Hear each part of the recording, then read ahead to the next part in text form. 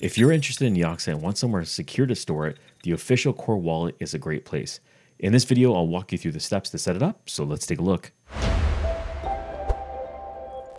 Welcome back to the channel. We're going to be installing the Neoxa Core wallet on a Windows 11 PC. I'm installing this wallet because I'm planning on mining the coin and there's no better wallet than to use their official Core wallet. So we're going to go ahead and install that. So the first thing we're going to do is click on the create wallet icon over here you have a few options down here. We have the Windows download, the Mac, the Linux, and then we have the ARM wallet, which is coming soon. There's also an Android wallet that should be coming out as well. I'm going to go ahead and download the Windows GUI wallet and brings me over to the GitHub page. If I scroll down a bit here, we have all the wallets laid out. We're going to be using the 64-bit version of Windows, so go ahead and click on that to download. Okay, and once this has been downloaded, you can go ahead and click on the zip file. Okay, we just open up that zip file and here's the executable. You just have to double click on that to launch it. We're getting a security prompt from Windows, so you just have to click on the more info and then run anyway. And now it wants to select a location to store the files. Now you can leave the directory as a default one, or you can select a custom one. In this example, I'm going to be leaving the default one, so I'll be clicking on OK. I'm just going to minimize my other windows over here and now it wants to import a recovery phrase. Now this is if you already have a wallet set up. If you don't have one, you can go ahead and click on the generate button and you get a phrase right over here that'll populate. What you want to do is make sure that you have this recorded in a secure location. Never give out your phrase to anybody. This is your single line of defense to unlock your wallet and get your crypto. So you definitely want to make sure that you keep this in a secure location. So once we have that generated, we're gonna go ahead and click on the import button.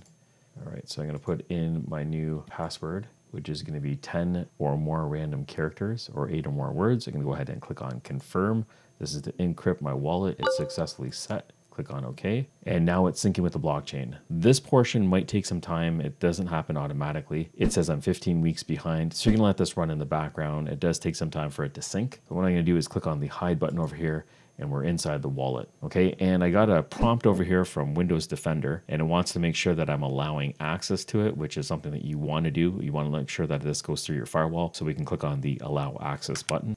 So this is based off the Raven Core wallet. It's a fork of it. So the setup is going to be very, very similar. And if you take a look at the menu over here on the left-hand side, you have the overview. In the first section over here is the balances. I haven't mined anything yet, or I haven't received anything yet or purchased it. So nothing's showing up, but there would be a balance if I had something in my wallet, as well as recent transactions would populate over here. If you want to send or receive, you just click on the option. If I want to send some Neoxa to another user, I can click on the send button over here, and then I'd put in their address and then I can label it and then I can put in the amount and then click on send. And the processing time might vary, but it's fairly quick. Now over here on the left-hand side, it's gonna be receive. I'm gonna go through an example right now because I'm planning on mining this crypto. I'm gonna give it a label. I'm just gonna call it mine over here and the amount is gonna be nothing. And then I'm just gonna click on the request payment. And what it's gonna do is it's gonna give me an address. So I can click on request payment and here's the QR code and here is my wallet address. Here's all the payment information that we have. And if you can scroll down, you can actually just copy this whole area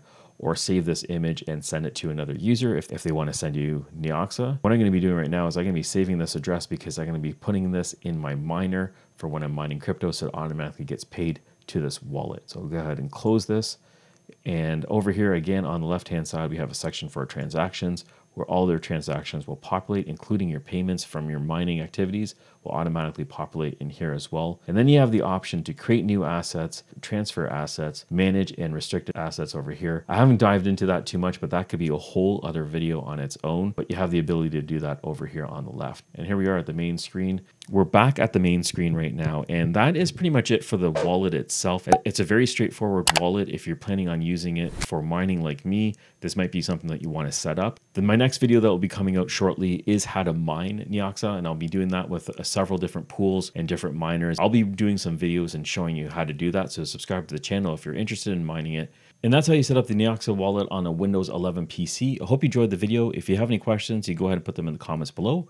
Thank you for watching, and I'll catch you on the next one.